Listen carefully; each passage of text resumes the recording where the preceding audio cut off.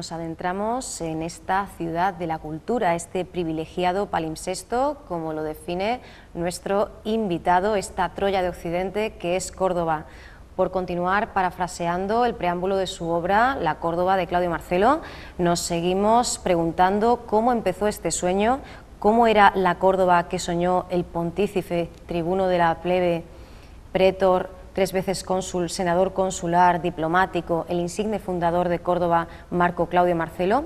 Tenemos con nosotros a Alberto Monterroso. Alberto, muy buenos días. Buenos días, Ángela. Bueno, Alberto, pues un privilegio volver a, tenerte por aquí. Sabemos que últimamente has estado muy ocupado. Sí, pero siempre es un placer buscar un hueco de tiempo para venir aquí a charlar contigo y con todos los televidentes. Alberto, que es profesor de latín, doctor en filología clásica, articulista, escritor de novela histórica y que de hecho eh, firmaba ejemplares de esa La Córdoba de Claudio Marcelo, publicada en el año 2012, el pasado sábado 20, en esta cuadragésima Feria del Libro de Córdoba.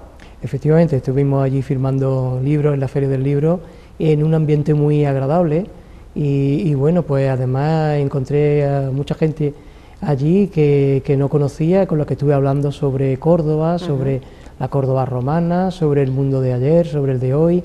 Y bueno, la verdad es que estuvimos allí un rato muy, muy entretenido. Para mí todo este tipo de cosas son siempre motivo de placer, así que pasé una tarde estupenda allí en la Feria del Libro intentábamos eh, pues retomar un discurso que ya empezamos hace unos meses, ¿verdad? Dedicamos en una ocasión nuestra sesión de patrimonio a hablar de, esta figura. Hemos intentado pues dar los trazos, ¿no? Que si pontífice, que si tribuno de la plebe, cónsul, en fin, son muchísimos los, eh, los cargos eh, que ostentó Marco Claudio Marcelo y volvemos a esta figura tan sumamente ilustre, quizá la más ilustre de, de todas para, para nuestra ciudad, porque precisamente el templo de Claudio Marcelo va a volver a estar en breve pues, eh, disponible para que los visitantes y los cordobeses lo disfruten y se hagan una idea de la grandeza de esa Córdoba patriciana. Yo creo que es una idea excelente, ¿no? apostar por la Córdoba romana y hablar de ella, pero cuando hablamos del templo tenemos que deslindar la figura de Claudio Marcelo de la del templo. Ahora, si te parece, ponemos cada cosa en su lugar, porque claro, Claudio Marcelo sabemos que es el fundador de Córdoba, que la funda en el año 169 a.C., y eh, bueno, eh, hay una calle ¿no? en Córdoba que se llama la calle Marco Claudio Marcelo, precisamente con todo el nombre completo, eh, también se conoce como la calle Nueva, ¿verdad? Y justo en esa calle donde están las ruinas del templo romano. Ese templo romano es de época imperial y parece que está efectivamente destinado al culto imperial, al culto de los emperadores, que sabes que a partir sobre todo de César y sobre todo con el primer emperador que es Octavio Augusto, su hijo adoptivo, sobrino nieto ¿no? de César, pues aparece lo que es la divinización de los emperadores romanos. Ese templo eh, fue construido en época, parece que empezó a construirse en época de Claudio, con lo cual estamos hablando de mitad del siglo I, eh, sería como unos 200 años posterior a la figura de Marco Claudio Marcelo. Pero claro, coincide la calle Claudio Marcelo, que es la de nuestro fundador, con la del templo, este templo dedicado al culto imperial, que es quizá por pues, unos 200 años después. Y en cualquier caso pone de manifiesto su alargada, lo alargado de su sombra, ¿no? esa estela imborrable, indeleble en el tiempo. Sí, yo creo que Claudio, Marco Claudio Marcelo es el origen un poco de todo, ¿no? porque ya Córdoba existía, sabemos que había un poblado ibérico, pero yo creo que el punto de arranque de todo es la fundación romana de Córdoba por Claudio Marcelo. Y es un hecho singular que yo he intentado destacar en el libro, ¿no? no es una fundación digamos como otra ciudad ¿no? de Hispania o del resto del Imperio Romano, hay algunos condicionantes, algunos, algunas características especiales que hacen de la fundación de Córdoba un hecho fuera de lo común y a partir de ahí yo creo que empieza la historia de la Córdoba romana, que sin duda en esta trayectoria que estuvimos hablando en estos meses atrás, pues yo creo que presenta una hoja de servicios de las más brillantes que puede haber en, no solamente la historia romana, sino la historia universal, ¿no? pasando por Séneca, por todos los intelectuales que hay antes y después de Séneca, y terminando con el gran Marco Aurelio, que tiene orígenes cordobeses y pensamiento senecano, digamos, o senequista de, Córdoba, entroncado, digamos, con Córdoba tanto en el pensamiento como en la familia. ¿no? Arranca la novela, Alberto, en el año 152 a.C. Además, tú siempre especificas, y esto es algo que haces en todas tus obras, eh, hasta dónde llega pues, la historia y dónde interviene esa ficción, ¿verdad? En este caso nos encontramos con personajes como, como Cornelia o como, como Pandora, que, que, si bien no pertenecen a, la historia, sí son ya de, tu cosecha, ¿verdad? Es esa, ese equilibrio, ¿verdad? Que, que, tú consigues hacer con tantísima destreza del rigor que no está exento, por supuesto, de esa ficcionalización. Y decíamos que la novela arranca 16 años eh, después de la fundación de la colonia, de la colonia perdón, Patricia Córdoba, capital de la Bética el ilustre descendiente de los Marcelo, 25 eh, años después de la muerte de su predecesor y padre, pasea con preocupación y con una seguridad impostada, porque peligraba eh, el equilibrio del poder romano en Hispania y por ende el proyecto de toda una vida. Nuevamente volvemos a ver este, esta figura, este perfil que es ejemplo de, gobernanza. Sí, Claudio Marcelo desde luego es un personaje importante, como yo digo también en la contraportada del libro, uno de los grandes personajes de la historia. Efectivamente, eh, tienes toda la razón cuando dices que eh, en la fecha y en algunos datos eh, yo soy y quiero ser muy riguroso, porque claro, yo enfoco la novela histórica, claro, desde el punto de vista literario, porque hay que crear intrigas, hay que acercar la historia al, al lector, ¿verdad? Pero también como soy un enamorado de, ambos, de la literatura y de la historia, los datos históricos que doy quiero que sean rigurosos. Y entonces pues sitúo efectivamente eh, los acontecimientos en el momento en el que está atestiguado por la historia, la personalidad de Marcelo procuro entresacarla de los datos históricos que tenemos. Y luego pues claro, eh, a partir de ahí queda un campo abierto enorme para poder fabular, para poder inventar tramas, personajes. Yo creo que cuando hacemos novela histórica, al menos esta es la idea que yo tengo de lo que, de lo que es, pues, al menos la idea la, la novela histórica para mí. Cuando hacemos novela histórica, yo creo que eh, podemos hacer una obra literaria y entretenida eh, sin traicionar a la historia. Es decir, la, historia, como saben, muchas veces la, la, realidad supera la ficción, ¿no? Hay momentos eh, históricos que realmente parecen eh, fabulados, que son casi inverosímiles, dice, bueno, esto cómo pudo, y ocurrió en realidad, ¿no? Entonces creo que no hay que traicionar a la historia, eh, y más en el caso de Claudio Marcelo, en el que se tiene un conocimiento muy escaso de, de todo lo que es su vida, eh, hay, hay datos, pero son muy pocos datos, ¿no? Entonces, claro, eso nos permite crear personajes nuevos, como tú decías, de, de Pandora, que es un personaje que yo al principio pues no tenía esto ocurre muchas veces, o al menos a mí me ocurre cuando, cuando escribo. El personaje de Pandora es un personaje que yo pensé que iba a ser un personaje secundario, ¿no? Pero claro, conforme pasa el tiempo y se va involucrando en acciones, te das cuenta de que los personajes casi cobran forma y vida propia, ¿no? Entonces al final se convierte en un personaje muy importante que pues, sin el cual yo creo que la novela no habría podido eh, seguir, ¿no? Adelante, ¿no? Eh, hay personajes que eh, piensas que a lo mejor no tener esa importancia, pero luego van cobrando una dimensión eh, que al principio pues ni siquiera sospechaban, ¿no? Eso es lo que pasa, ¿no? Es la magia de, ese proceso eh, creativo. Conocemos efectivamente muy poquitos datos, pero sí algo de, la ciudad, ese centro neurálgico de la provincia ulterior y futura urbe más importante de, de Hispania que se encontraba Marco Claudio Marcelo tras esas victorias que, le hacen posicionarse ¿no? para ser el, fundador de, la ciudad tras el yugo cartaginés. Es verdad que Córdoba estaba eh, receptiva ¿verdad? y la romanización, tú nos lo has comentado ya muchas veces, se hizo con, con, sumo respeto y de hecho normalmente hablamos de esa Córdoba de las tres culturas, pero aquí también vemos un buen ejemplo, ¿no? con todas las reservas ¿verdad? históricas, pero un buen ejemplo de convivencia. Sí, sí, además yo creo que cuando hablamos de la Córdoba de las tres culturas, hay ahí una especie de, eh, de pilar que sujeta esa Córdoba de las tres, las tres culturas, ¿no? Es como algo que lo contiene, ¿no? O que le da un poco eh, lo que es la esencia de la idea de la convivencia de la Córdoba de las tres culturas que estamos hablando del siglo X, estamos hablando de la convivencia de la época andalusí con musulmanes, cristianos y judíos, ¿verdad? Y ese algo que le da esencia o ese pilar que sostiene o ese tronco, digamos, eh, que sería la base para esas tres grandes ramas que son las tres culturas, es Roma. Yo creo que Roma, sin duda, es la que le da, la que, la que permite que luego pueda tener lugar esa Córdoba de las tres culturas. ¿eh? La idea de, Roma, la mentalidad, eh, digamos, lo que ocurre en el siglo II Cristo, aquí en nuestra ciudad, es algo realmente muy importante, porque estamos hablando de personajes, como tú bien antes has descrito, como Claudio Marcelo, o como muchos otros personajes cordobeses de los que hemos estado hablando a lo largo de los 400 años que van al menos desde el siglo II antes de Cristo al siglo II eh, después de Cristo, ¿verdad?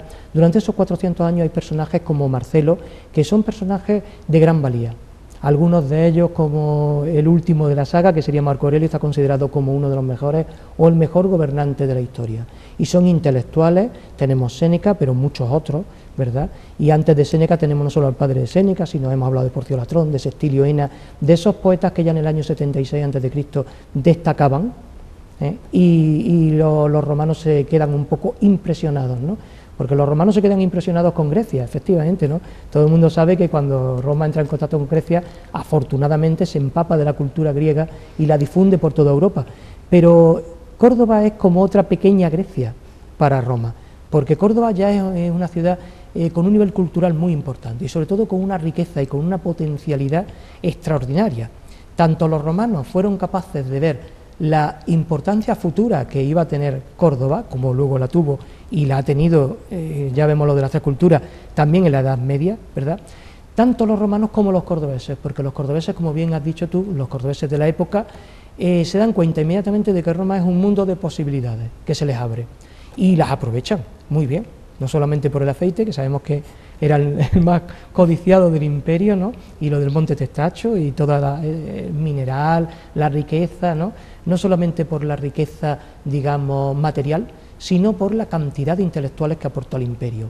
Y yo diría algo más, ¿no? Roma eh, no sería tal, eh, tal como la entendemos, sin la aportación de algunos cordobeses ilustres, hablemos de Séneca, también otros, ¿verdad?, la aportación intelectual y política. Es decir, que Córdoba no se limita a subirse al carro de Roma, sino que participa de Roma y hace que Roma sea lo que hoy entendemos por Roma. Esto es algo realmente extraordinario que creo que, se puede hablar mucho ¿no?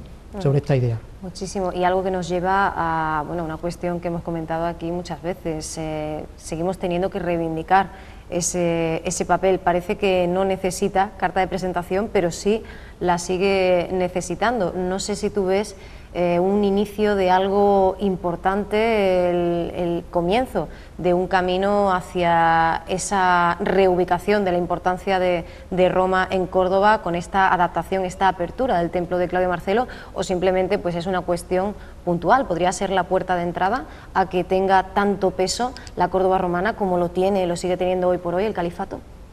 Yo creo que es una buena oportunidad.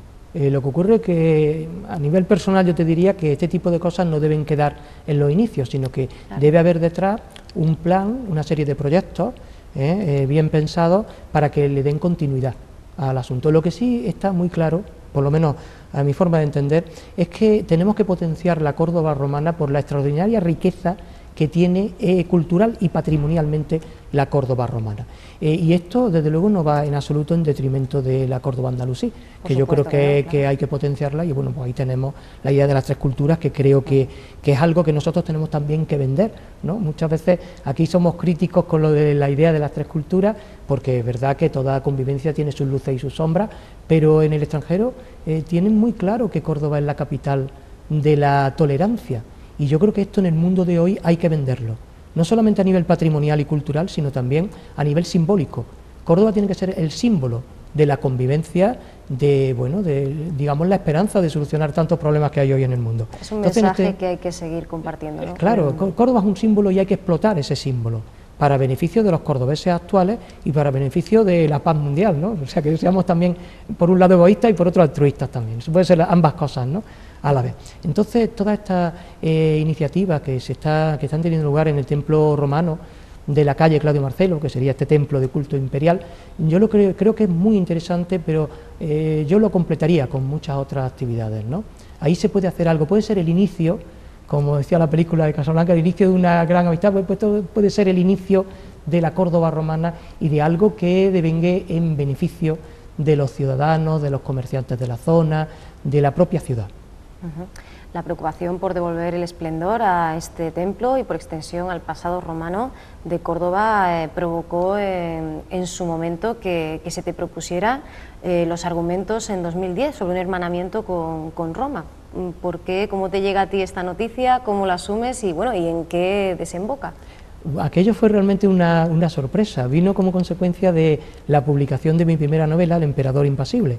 Recuerdo que salió en, la prensa, una, salió un par de veces, pero sobre todo en una noticia a página completa, pues hablaba de, la figura de Marco Aurelio, que, eh, bueno, no es que ahora sea mucho más conocida, pero hasta entonces que era, yo creo, casi desconocida en, en Córdoba, ¿no? Marco Aurelio nació en Roma, pero fue lo único que, hizo, el hacer en Roma, porque eh, bueno, su familia, como ya hemos comentado, materna era de Córdoba y la, de, y la paterna pues de Espejo, ¿no? del antiguo Ucubi.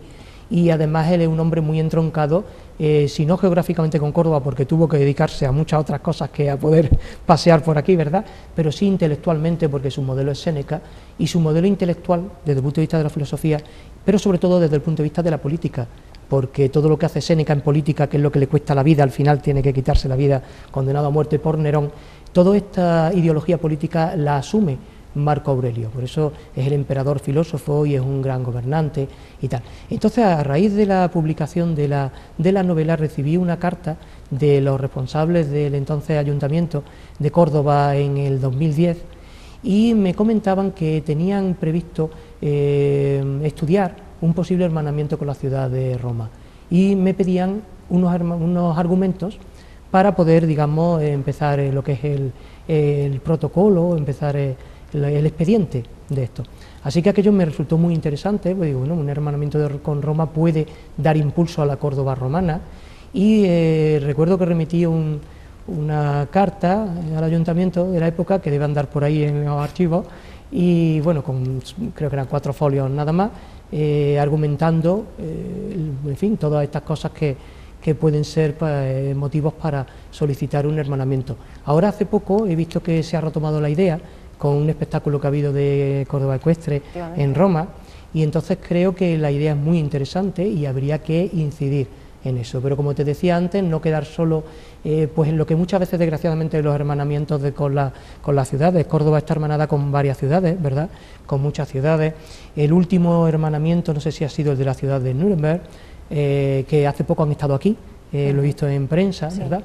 Y entonces muchas veces los hermanamientos quedan solo, en, digamos, la foto institucional, en alguna actividad y parece que luego aquello ya decae. Entonces yo animo a los responsables de, nuestro ayuntamiento a que no dejen caer este hermanamiento con Córdoba, sino que lo llenen de contenido y que programen actividades, que puede, haber muchísimas actividades, que eh, digamos redunden en beneficio del lanzamiento de Córdoba como un destino turístico, como hemos dicho, no solamente patrimonial, porque pasear por las calles de Córdoba ya es un lujo para los sentidos, pero también para el intelecto, ¿no? porque en Córdoba se respira ese, ese ambiente histórico, esta ciudad está cargada de historia por todos sus rincones y yo creo que puede eh, utilizarse también, como te decía antes, como ese símbolo de convivencia, ese símbolo de cultura y de historia, ese palimpsesto del que yo hablaba en el, en el prólogo, ¿verdad?, de, de, la novela de la Córdoba de Claudio Marcelo. Me gusta mucho esa imagen porque un palimpsesto es una maravilla para los investigadores porque es un pergamino en el que se, que se ha borrado y se ha vuelto a escribir encima. Eh, entonces, claro, tienen la ventaja de que no solamente conservan lo que se ha escrito, sino que hoy con la moderna tecnología puedes ver lo que estaba escrito debajo. Así que es como un pergamino en el que aparecen dos o tres pergaminos a la vez.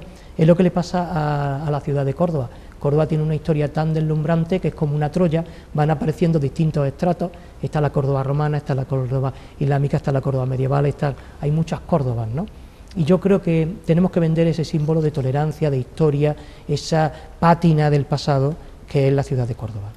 Estamos entonces en un momento crucial para que esto por fin, como decía, se traduzca en algo, se solidifique o se quede en las buenísimas, mejores, si, me apuran, intenciones, ¿verdad? Como decía el título de la película de Daniel Berman, pero que en realidad luego no haya un mañana.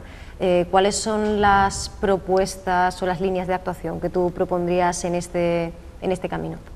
Para este tipo de cosas hay que hacer un plan estratégico como todo, ¿no? Y hay que ver qué tipo de actuaciones eh, se pueden llevar a cabo y ver el tiempo en el que, con una planificación, eh, digamos, exhaustiva, ¿no? Y rigurosa. Pero así por, por comentar algunas posibilidades, pues que a todo el mundo se le ocurre, eh, a mí, por ejemplo, me acuerdo que cuando presentamos el, el acuerdo de Claudio Marcelo en el Círculo de la Amistad, que creo que fue el 2 de mayo, eh, pasado, va a cumplir justo ahora ya un año, ¿verdad? Cuando le presentamos, eh, se comentó allí la posibilidad de eh, inaugurar, digamos, cuando terminen las obras de adecentamiento, digamos, del templo romano en la calle Claudio Marcelo, ¿por qué no terminar con la representación de una obra de teatro? Allí mismo, si es posible. ¿Por qué no una obra de Séneca? Que bueno, es verdad que la obra de Séneca, como una vez comentamos, sus tragedias eh, sobre todo se han leído más que representado, porque son quizá demasiado largas para el gusto de hoy. Eh, se pueden recitar, por ejemplo, hace poco, vamos, eh, hace poco me he estado reunido con una serie de compañeros y con un, con un escritor y periodista muy conocido en Córdoba, también con una iniciativa parecida que ahora te la comento.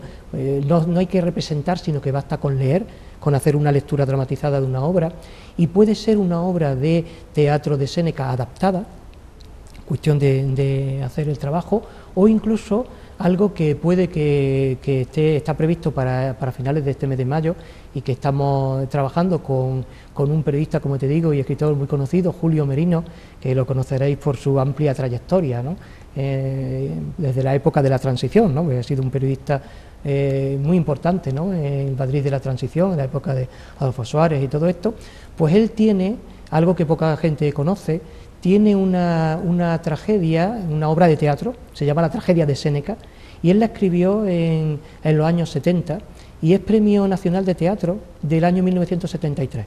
Y esta es una obra de teatro que trata sobre Séneca desde un punto de vista muy interesante, muy rompedor, y nunca se ha representado esta obra. Y tenemos aquí una obra de un, que es un premio nacional de teatro de un cordobés que tiene una trayectoria eh, muy interesante desde el punto de vista periodístico y tal, y que no se ha representado nunca. Hay que pensar que llegue 40 años después, ¿no? Exactamente, fíjate, pero está ahí, ¿no? Y está ahí esperando no que, lo descubran, sino que se, se tomen las iniciativas adecuadas, se planifique una serie de, acciones.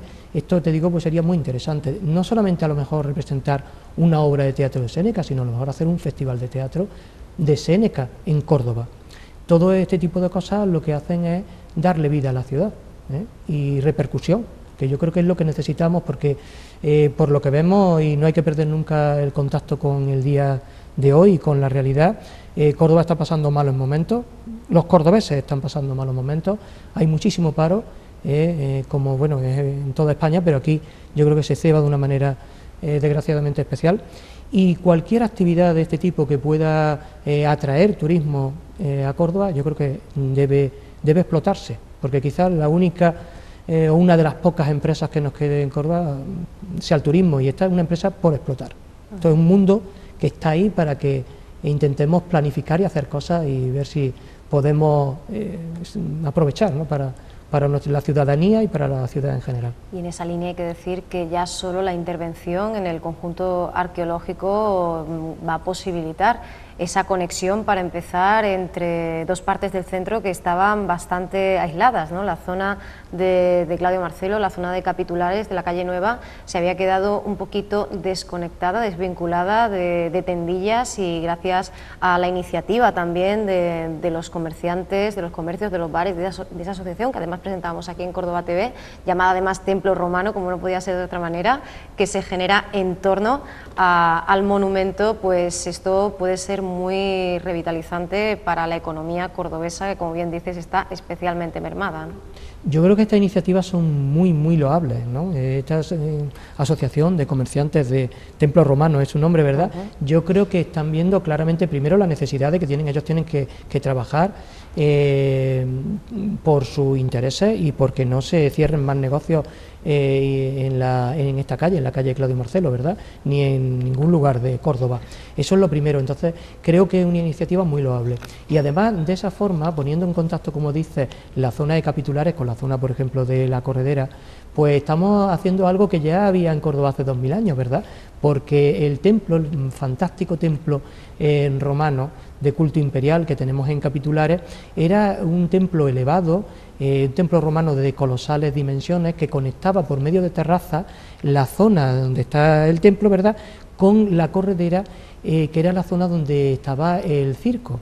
y bueno, esto era todo como digamos una de las zonas más importantes de, de Córdoba. Además es la misma entrada por Roma, que era un lugar privilegiado.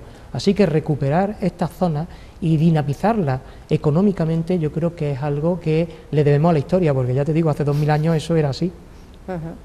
Y además, si, te parece, Alberto, podemos retrotraernos a, cuando se, se, descubre en época contemporánea ya este, este conjunto un descubrimiento mm, curiosamente también muy, muy reciente, de mediados del 20, así se apunta en la aproximación al, al Foro Provincial de la, de la Bética, ese estudio conjunto entre la Universidad de Córdoba, la Universidad de Valencia y la Gerencia Municipal de, Urbanismo, pasando además, eh, como comentan, de ser eh, gradualmente analizado como un monumento, un edificio aislado, a, pertenecer, digamos, a un proyecto, a un conjunto mucho más ambicioso. ¿no? no nos podemos ni hacer una idea, como bien comentabas, de, lo que había en torno al templo. Desde luego, es una zona, no solo el templo. Lo que pasa es que, claro, lo único que, tenemos ahí... Y que Por lo menos sobre la, sobre el asfalto, ¿no? sobre la tierra. Exactamente, esas columnas que yo creo que es muy acertado, ¿no? la forma que se le, que se le ha dado y bueno, y entonces eh, a través de la monumentalidad de las columnas nos hacemos una idea de lo que pudo ser, lo que pudo haber sido aquel templo. Pero efectivamente, como te comento, había una serie de, terrazas que descendían hasta la zona del circo, que era la zona de la corredera, y esa zona eh, pues era una zona muy dinámica, en la Córdoba romana, muy importante, que además eh, conectaba, como tú decías muy bien, una parte y otra de la ciudad. Eh, debía además ser realmente impactante para aquellos que venían de Roma llegar por la vía Augusta, ¿verdad? Y llegar por la zona, por la parte este de Córdoba, subir y encontrarse ahí arriba el templo romano un templo romano de estas dimensiones, que, bueno, pues no es algo, digamos, habitual en, la, en esta parte del imperio, ¿no? Es un templo colosal, de las medidas, de la, de la forma de, entender la arquitectura de la propia mm, ciudad de Roma, ¿verdad? Así que yo creo que, bueno, que es, una, es algo muy importante que podríamos eh, dotar de más contenido. A mí se me ocurre, ya como estamos casi fabulando, ¿verdad?, que, bueno, que el templo romano se podría eh, restaurar o que se le podría añadir algo, ¿no? para que eh, tuviera todavía una imagen más cercana a la que pudo ser en la época de la Córdoba romana. Y para esto yo creo que las instituciones pueden acercarse porque eh, el Museo Arqueológico, las piezas que están en depósito en el Museo Arqueológico, verdad que como sabemos depende de la Junta de Andalucía, podría perfectamente firmar un convenio con el Ayuntamiento para eh, que con cesión de piezas y con un plan, digamos, serio y riguroso se pudiera eh, dotar a la zona de una imagen más cercana, ¿no? de una imagen más restaurada, de una imagen parecida al menos a lo que pudo ser el famoso ese monumental templo romano de la calle Claudio Marcelo. ¿no? Por eso digo que, bueno, que hay mucho camino que recorrer, lo que hace falta son ideas y ganas de poner esa idea en marcha. ¿no? Imagen por antonomasia del pasado romano de Córdoba, que ahora quiere recuperar ese estatus también de epicentro eh, urbanístico. Te pregunto por esa primera fase de, las obras, ¿qué, te parece la actuación hasta el momento y por lo menos los resultados que se esperan? Mm, por lo que yo estoy viendo me parece bien, porque la limpieza de, del templo yo creo que era de primera fundamental, fundamental. Aquello, eh, además, por lo visto va a haber un cerramiento que permita eh, verlo desde fuera. Esto creo que también es muy importante, ¿no? Para que llame la atención, ¿no? Para que la zona se convierta eh, en algo llamativo. Mm, además, yo creo que ahí se pueden hacer también más cosas, ¿no? Yo animaría a que, si no un centro de interpretación de la Córdoba romana, que sería un lugar yo creo que ideal, ¿verdad?, para colocarlo, Eh, además también eh, se me ocurre que pueda haber ahí un espectáculo de luz y sonido, parecido al que eh, se hace en la mezquita o el que se hace en el Alcázar, ¿verdad? como digo, lo que se está haciendo es un primer paso y bienvenido sea, pero yo creo que no debe quedar ahí, sino que debe haber una, una continuidad, ¿no? una serie de acciones que, que seguramente pueden entrar dentro de un presupuesto y no salir demasiado caro, y dinamizar toda la zona, dinamizar lo que es la Córdoba cultural, el turismo, eh, colaborar con los comerciantes de la zona, como hemos dicho anteriormente, unir eh, ambas zonas también, ambas partes de la ciudad, en un todo, y bueno, pues este tipo de cosas son las que hay que planificar y llevar a término.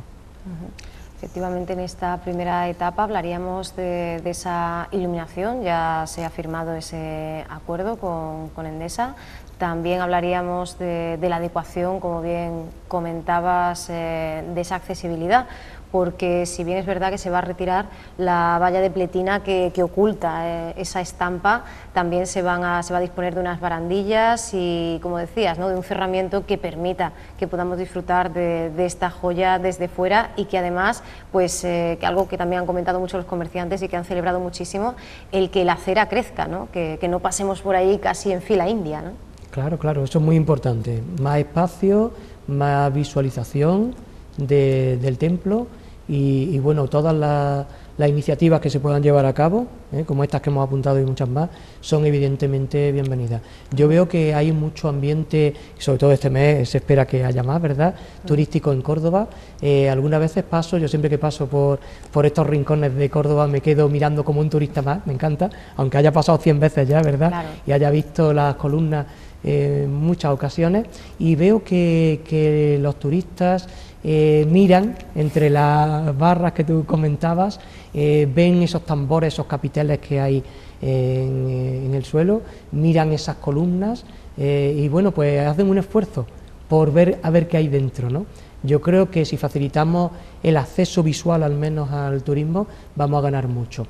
Esa medida es bienvenida y todas las que, las que se hagan y que yo he apuntado algunas, ¿verdad? Yo creo que pueden beneficiar a, a la zona y pueden beneficiar eh, a, Córdoba en general, que es de lo que se trata, ¿no? porque muchas veces hemos hablado que la historia está ahí y el patrimonio está ahí, pero para eh, que sirva a los cordobeses de, hoy, tanto desde el punto de vista cultural como económico.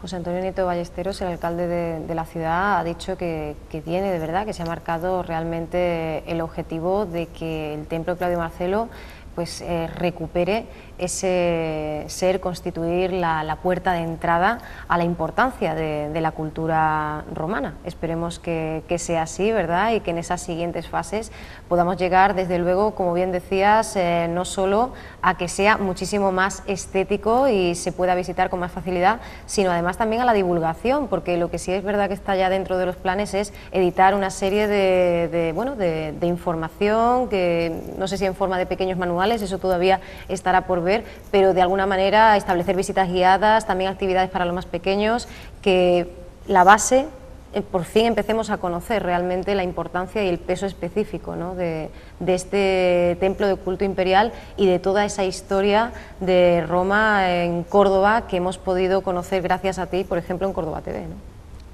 Muchas gracias. Yo, bueno, eh, intento colaborar un poco porque, como siempre, cuando algo te seduce y te enamora, pues tú tienes ganas de explicarlo a los demás, ¿no? Y por eso, pues, me verá siempre entusiasmado por hablar de la Córdoba romana y por planear eh, actividades y, bueno, pues, ideas que puedan redundar en beneficio, pues, de la Córdoba romana, de la Córdoba histórica, del turismo, del patrimonio y de la ciudadanía en general. Que reconozcamos a, a Séneca, ¿verdad?, el filósofo, que nos acerquemos a la importancia de Séneca el Viejo y que conozcamos a, Lucano, ¿no? porque creo que en algún eh, lugar oficial, además, eh, todavía podemos leer que Lucano es filósofo, ¿no? O sea que sí, sí, eso es terrible, Eso demuestra que todavía queda muchísimo, muchísimo sendero, ¿no? muchísimo camino por recorrer, efectivamente. Tenemos que asumir, pues claro, hablamos mucho de Seneca en Córdoba, pero yo creo que se ha convertido ya en un tópico, ¿no?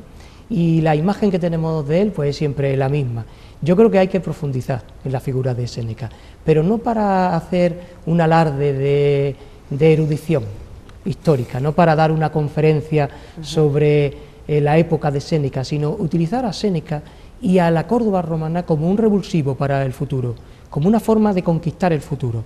Eh, yo cuando me estudio la, Córdoba romana y a los grandes intelectuales del pasado, ¿verdad? Eh, procuro eh, entroncarlos con la realidad, con el mundo de hoy. Yo creo que esa es la clave. Hay que hacer los clásicos no solo accesibles, yo por eso, por eso mis incursiones ¿no? en, la, en la literatura, quiero hacerlos accesibles, quiero hacerlos agradables, pero además que nos pueden servir de modelo. ¿no? Hoy estamos en una época de crisis total, eh, a todos los niveles, ¿no? Y eso no hace falta eh, recalcarlo porque lo vemos en la prensa todos los días y además en nuestras propias familias y amigos, ¿no? Que están sufriendo la crisis. Eh, la figura de Séneca, que es un hombre que siempre luchó y que nunca perdió las ganas de pelear por un mundo mejor, yo creo que también pueden servir como un modelo. Porque hoy en día carecemos de modelos, no tenemos modelos claros a los que seguir. Digamos que hay, hay mitos, pero no, no, no vemos mitos con una autoridad moral para mí, Claudio Marcelo es un ejemplo a seguir, es un hombre con una autoridad moral extraordinaria. Séneca, Marco Aurelio son grandes figuras del pasado porque son modelos de valores, que yo creo que es lo que necesitamos en nuestra sociedad, ¿verdad? Así que yo cuando pienso en los romanos y cuando intento difundirlos, sobre todo a estos romanos nuestros, y, cuando pongo el, digamos, el dedo en lo que es la importancia de la Córdoba romana y sus intelectuales, también quiero que la gente vea que otro mundo es posible, que otra forma de pensar es posible, que otro tipo de personas, de intelectuales, de políticos son posibles, ¿no? Y que debemos de mirar los grandes modelos del pasado, esa autoridad moral, esas eh, ganas de luchar, ¿eh? ¿verdad? A pesar de la adversidad, porque eso tanto en, en Séneca el Viejo, el padre Séneca, como el propio Séneca, Marco Aurelio, todos los personajes de los que hemos estado hablando estos días, son buena prueba de ello, ¿no? Y de hecho, aquí en el libro eh, yo utilizo una, Séneca que, una cita de Séneca el Viejo que es mi preferida que es la que más me gusta de, toda, de todo el libro ¿no? que leí en su día para hacer la tesis doctoral, de Séneca el Viejo, eh, hay una cita que dice que grandes hombres, ¿no? aquellos que, que, no, que no se resisten, que no sucumben a la adversidad. ¿no? que para ellos la adversidad es una forma de poner a prueba su valor, pero que no se van a rendir. Entonces yo lo que animo a la gente es que no se rinda, que luche, que, utilice la creatividad y la imaginación para afrontar los problemas del presente. Es algo fácil de decir porque lo difícil es hacerlo, pero hay que, hay que hacerlo, como decía Séneca, ¿no? Séneca se jugó el cuello muchas veces por defender la libertad y por, eh, en fin, criticar aquello en lo que él creía, ¿no? por dar otra, otra perspectiva a la Roma de su época. Y yo creo que la figura de Séneca, igual que fue importante en la Roma de su tiempo, porque abrió el paso a los grandes emperadores del siglo II, a los grandes emperadores de la historia, si no hubiera habido un Séneca, quizás no habría habido un Trajano, un Adriano o un Marco Aurelio, igual que Séneca sirvió como ese referente moral, pues yo creo que nosotros tenemos que mirar el pasado de Córdoba como algo que nos sirva para catapultarnos y ganar el futuro. Hasta ahí llega ¿no? la importancia de, este patrimonio más de actualidad que nunca, no solo, también por supuesto, como decías bien, por ese potencial desde el punto de vista económico del turismo, sino llegando muchísimo más lejos, ¿no? en el momento en el que nos encontramos eh, de no retorno, algo tiene que cambiar. Exactamente. Yo creo que mirar al pasado no es refugiarse en el pasado, sino coger ideas para afrontar el futuro. Coger ideas, coger fuerza para seguir adelante, hacer ese viaje necesario. Alberto, eh, un honor y un placer siempre tenerte aquí. Sabemos que, que la agenda está completa, incluso que estás trabajando en un nuevo libro. O sea que ahora mismo el tiempo no te sobra, pero te agradecemos muchísimo y doblemente por ese motivo que, hayas podido acompañarnos hoy en nuestra sección Patrimonio y esperamos verte muy pronto. Es un placer venir aquí a hablar con vosotros y siempre que podamos buscar un hueco me tendréis aquí hablando de, la Córdoba romana y de todas estas cosas tan interesantes para todos.